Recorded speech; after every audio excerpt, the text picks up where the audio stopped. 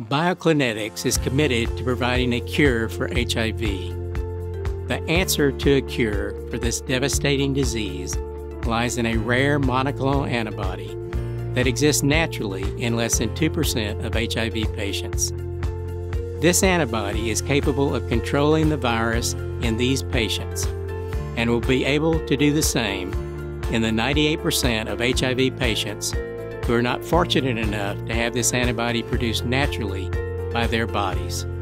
Our company has created a human cell line that produces this monoclonal antibody, and we need your investment to complete preclinical and clinical trials.